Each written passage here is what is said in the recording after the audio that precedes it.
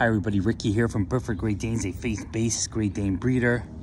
Hope you're having a blessed day. I'm here hanging out with the dogs, doing a little bit of a fire here, and just kind of enjoying the day. Um, she's doing so much better. I wanted to share that she is on antibiotics. If you watched a couple videos ago, like she really wasn't doing well. I mean, she was lethargic. She had a fever. We brought it to the vet three times, and I brought the poop sample, the pee sample. She got. We got her blood work checked. The only thing was that she had a little spiked white blood cell, so probably some sort of an infection.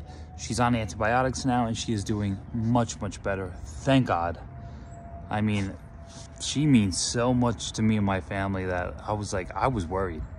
So she's running around now. She's doing great. So God bless her, and God bless all of you.